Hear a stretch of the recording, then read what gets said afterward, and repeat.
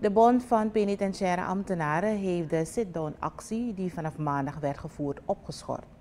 De bond geeft de overheid tot 5 mei de ruimte om de betalingen volgens de nieuwe loonreeks en de overbruggingstoelagen in orde te maken. Volgens bondvoorzitter Max Breinburg heeft het ministerie verzekerd dat de betaling uiterlijk morgen zal geschieden. Breinburg heeft de leden daarom gevraagd om even geduld te houden. Net voor tien uur, net voor tien uur hebben we dus een verklaring ontvangen vanuit het ministerie waarin ze in elk geval aangeven dat, de, nou, dat de gelden 30 gestort worden. In elk geval, laat me zo zeggen dat het 30 wordt afgewerkt.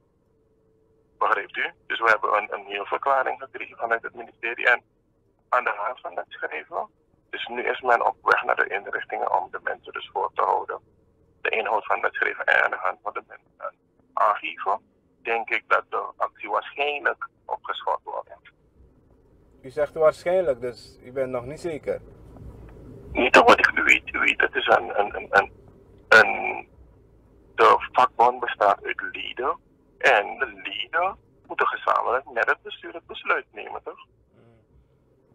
Maar, maar voor wat het bestuur betreft, uh, denk ik... Ja, als het, ja, ja, als het aan het bestuur uh, ligt, dan denk ik dat we op kunnen schorten. Want het ziet er goed uit als ik zo dus dat schrijven heb gecheckt. En ik heb die inspanning gezien die men heeft gepleegd op het ministerie.